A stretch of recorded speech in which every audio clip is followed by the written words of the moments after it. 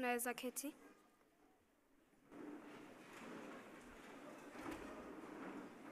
Jina langu ni Ngure Verity na tuanze na maombi. Father, we come before you saying thank you for the gift of life. Thank you for being with each one of us, my dear Father. Thank you for giving us this chance to congregate here, my dear Father, and worship you, my dear Father. Dear God, as you're going to receive your word, my dear Father, use me as your vessel that I may preach your word, my dear Father, and that you may open our hearts, that our hearts may be receptive to your word, my dear Father, and that we accept, my dear Father, and believe and also do according to your word, my dear Father. It is in the mighty name of Jesus we do pray, trusting and believing. Amen. Mtaniwia radhi, nitazungumza kwa lugha ya Kiingereza mno.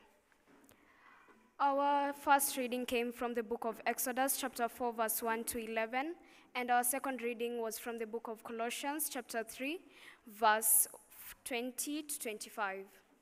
So, in our first reading, Exodus, we see this is the call of Moses. And Moses was called when he was tending to his father in law's sheep, in, uh, who was Jethro. And. Who, and then he saw a burning bush. He approached it, and the Lord told him to remove his sandals because he was standing on holy ground. Here we see the Lord's power being manifested to man. And here we see that the Lord is all holy. And Moses asked, Who are you? And the Lord said, I am who I am. So this is when God introduced himself to Moses. Moses was being sent to the Israelites, and he asked the Lord, Why me? And how will the Israelites believe me? Knowing that God is an invisible God, he did not have any stature, he did not have any form. So, man is likely to doubt. So, the first thing we learn is that when God calls you to serve him, there are a lot of doubts. Because you wonder, what will people think? How will I explain to people that I am doing the work for the Lord? And here the Lord said to Moses, Don't worry about what other people think. It's what I am calling you to do. And here we see the Lord showing Moses miracles that he's going to perform before the Israelites. First was changing the staff that he was holding to a snake. Second is also making his hand leprous and still healing it at the same time. And also the last we see that he was told to take some water from the Nile and it was going to change to blood once, he poured it on the ground. So first we see that many people are usually in doubt when you're called to serve into the Lord, unto the Lord, sorry. And we also see this not only from Moses, but also we have Prophet Jeremiah, who was also called the, the weeping prophet, and also a prophet of doom, because he testified a lot evil things that was that were going to happen to the Israelites. And once he was called, he said to the Lord, why me? I am too young for the task that you're giving me. But the Lord gave him strength and told him, I am going to be with you and I am going to put words in your mouth. So once the Lord calls us, he makes a way. He doesn't leave us hanging, he doesn't tell us when out after solution. No. He already has the solution to every doubt that you may have. Moses had a doubt that the people of Israel, Israel will not believe him. But the Lord already told him, Don't worry. You have miracles I am going to show you, and this is what you're going to do to them, that they may understand and know that it is I, I have sent you. We see that Jeremiah was also doubting, but the Lord gave him words to speak. All the other prophets doubted and thought, Why me? The people are going to oppose me so much. But the Lord said, Do not be afraid. We see that during the call of each and every prophet, the Lord tells them, Do not be afraid, because I am going to be with you. I am going to walk the journey I have called with you. The Lord also tells us that what I have started with you, I will take it to completion. We see that the Lord is already making a way, giving us favor, and going before us before we start our journey. Some tasks feel impossible. Many of us, we've gone to our workplaces, we're given assignments. In school, we're given tasks to do, and you're like, nitawezana? No. But the Lord is telling you, do not be afraid because I am with you. If you believe in me, I am with you. I shall not leave you. I shall not neglect you. And this is the, what the Lord is telling us today. Because He has already made a way, He needs trust. He needs faith. And what is faith? It is described in the book of Hebrews, chapter 11, verse 1. That faith is being sure of the things we hope for and being certain in what we do not see.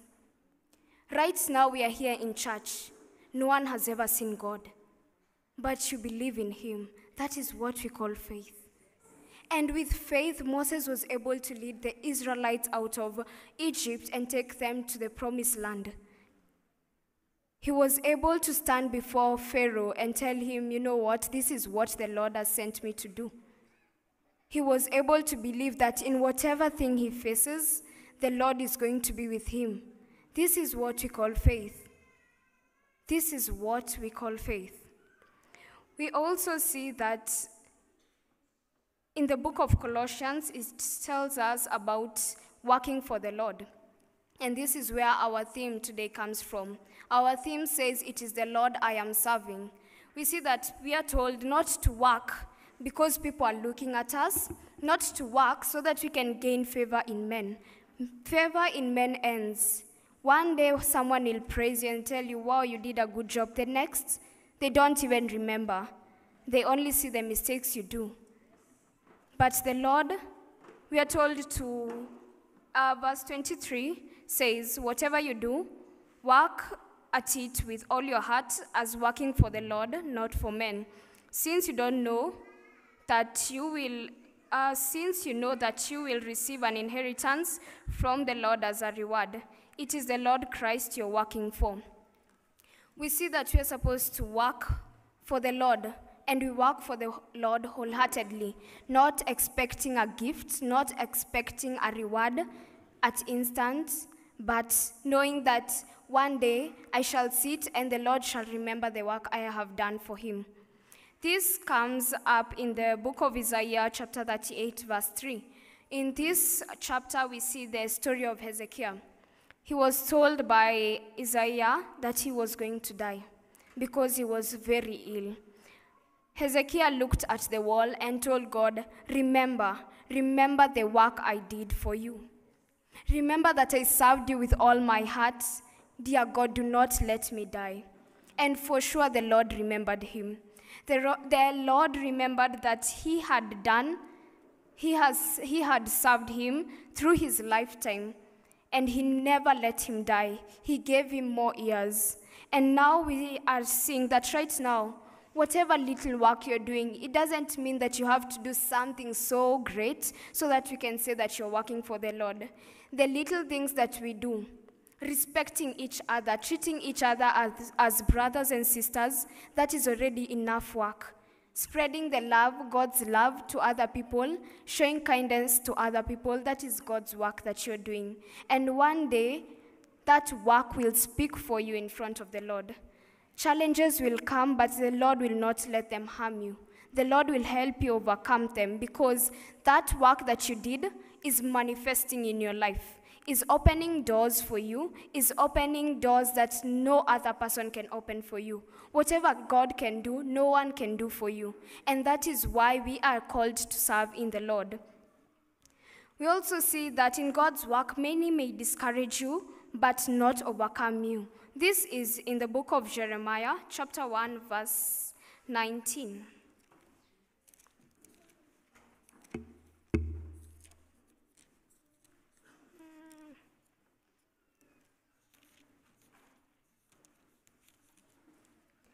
So in chapter 19, uh, Jeremiah is told, They will fight against you, but will not overcome you, for I am with you and will rescue you, declares the Lord. So, God knows the tasks that are ahead of you are not easy. They are not easy, but He tells you that, Don't worry, I shall walk with you. They will discourage you, they will talk ill of you, they'll want to pull you down. But don't let their words get into you because you know who you're serving, you know who is on your side. And your problems are not greater than the Lord. The Lord is over all things, and you can do all things through Christ, as He tells us in the Bible. We know that the Lord has walked with many, and He has never let them down. We see Moses, we see Abraham, we see Jeremiah, Isaiah, all these prophets, Elijah. He never let them down. He never disappointed them at any time. So we know that whatever we do, the Lord is always up to back us up, um, administer all the challenges, administer all the enemies that we have. Many will clap for you right now. If you get a promotion, if you get something good, many will clap for you, but not all claps are honest. Some are clapping for you sincerely, others are clapping, are warming their hands to slap you in the face.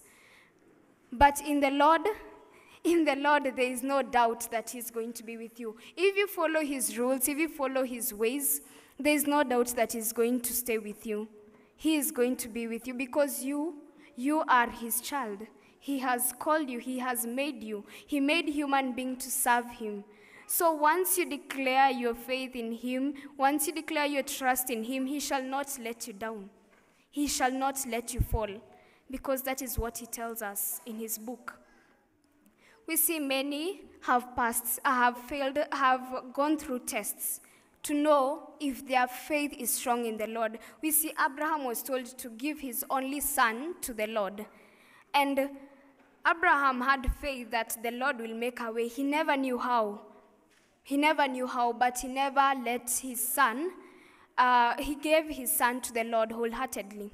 He never knew if maybe Isaac would have died, but he gave, he gave his son wholeheartedly to the Lord, and the Lord truly made a way. And the Lord uses the very strangest ways to show us that He's going to be with us. He made a ram come out of nowhere once he was about when once Abraham was about to sacrifice Isaac. We see the Lord is using a staff to show Moses that it is I who has sent you, and I am the Lord, your creator, the powerful one. And no other God is above me. We see the other magicians were able to make their staffs turn, turn to snake. But Moses' snake ate the rest to show that God is powerful than the other gods, is powerful than all the desires we ever want in this world, and that the Lord is going to manifest himself in your life, that nothing is too big for him. And we see Jacob. Jacob went through a lot of pain so that the Lord can show Satan that no, this is truly my person. He has faith in me, not because I give him blessings, not that he has everything, but it is because he acknowledges who I am. His wife had told him, Curse the Lord and die. Why are you suffering? But he said, No, I know who I am serving. We don't only thank the Lord because of the good he has given unto us, we thank him for the trials because we know the trials are meant to sharpen us, are meant to sharpen us to the things we have ahead. We see Moses, he went, started with the Israelites, rejection from the Israelites. But he, he was being prepared that also Pharaoh won't accept that the Israelites will get out of Egypt just as you tell him, the Lord has sent me. Then he'll say, No, no, no, you just take your people, just leave. No. He went through 10 miracles so that Pharaoh was able to accept. Through, he said he's not an eloquent speaker. But the Lord, once he was done, I think for me, he was able to talk to the Israelites while they were in the wilderness. For me, I would say that staying in the Lord, passing through different challenges, gives you great skills, gives you more skills, because I think he was already a good speaker by the time he was in the wilderness, because he was able to address Pharaoh, he was able to address the Israelites, telling them what the Lord wants. So the problem that he saw, he was a stammerer, he was not eloquent enough, had already gone because the Lord doesn't care about your barriers. He asked, he said to the Lord, I am not an eloquent speaker. The Lord said, Who gave you the mouth that you have? The challenges that you're seeing that you have, oh, I can't do this, oh, I can't do that. Remember that it is the Lord who is able to make people not even see the challenges, the disadvantages that you have, and accept who you are, and give you great chances with whatever disability that you think you have, because we are our own limit. The Lord made us to do everything, to conquer. He gave us the spirit of joy, not of fear, of courage, And the Lord is able to deliver us in whatever circumstance we are in and in whatever thing we do. Do it remembering that it is the Lord you're serving because once you serve Him, He is going to make a way for the, what you're going to do. He is going to give you the courage, the strength, and in all this, you're going to be glorifying His name. You are going to be spreading the, the gospel through the works that He's doing in your life. So always remember to always stay in the Lord because in the Lord there is joy. We have not seen not a single prophet being left by the Lord, so why doubt? Why doubt that the Lord will give you the courage to do the task that you want? Why doubt that the Lord will provide you what you think you don't have? Why doubt that the Lord is going to be by your side in whatever challenge that you have if you believe in Him, if you trust in Him, if you have faith in Him? Why? So this morning, let us serve the Lord because in the Lord there is joy, in the Lord there is salvation, and He shows His miraculous deeds. He shows His power, He manifests Himself in the Bible. If we read it, we see the wonders, the powerful works of the Lord. And this is proof enough to tell us that the Lord is all powerful to help us through our daily lives in whatever thing that we need. You might be young, you might be old. Each and every one of us has different challenges.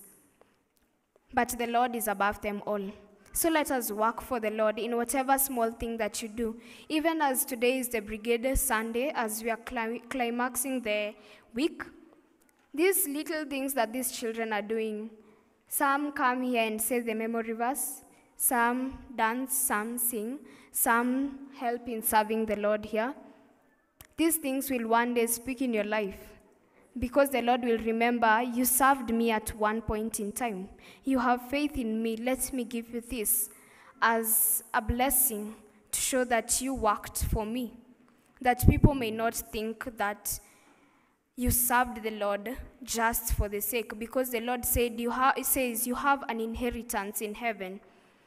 Man might not, might not give you a reward for working for them, but the Lord shall. It shall not come right now, nor soon, but know it is there. It is kept for you in heaven, and you may receive it in, uh, on earth in different ways. And the Lord is always calling us to His world, calling, him, calling us to His side, and telling us, Do not be afraid as you start your journey with me, because I shall provide solutions and I shall never let you down. And that is what the Lord tells us this morning. And at, as I climax, I will tell each one of you that let us have faith in the Lord. Let us be kind to one another. You can't come here say, "Oh, I sing, oh, I dance for the Lord, so I am good. I am on the Lord's side." Yet you treat others in a way not showing that you serve for the Lord. Jesus tells people that many will say that I healed in your name, I did this in your name, but the Lord will tell them, No, you are not mine. Because whatever we say, whatever we do, we, might, we must show it to the other as a way of showing that we truly serve the Lord. Faith without action is dead. So we must do what we say. Do not drink, do not preach water and drink wine.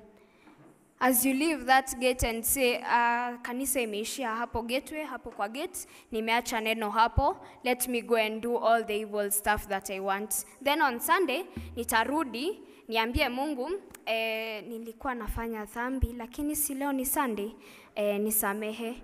Ati ni Sunday, hutaongelesha mtu vibaya, but on Monday, you'll be the first being heard on the streets shouting at people, being rude to them. No, that is not true Christianity. That is not faith.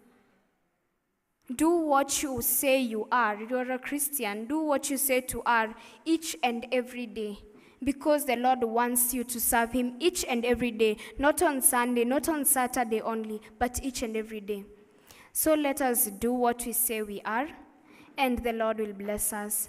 I was your preacher, Ngure Verity. Thank you, and have a lovely day and week ahead.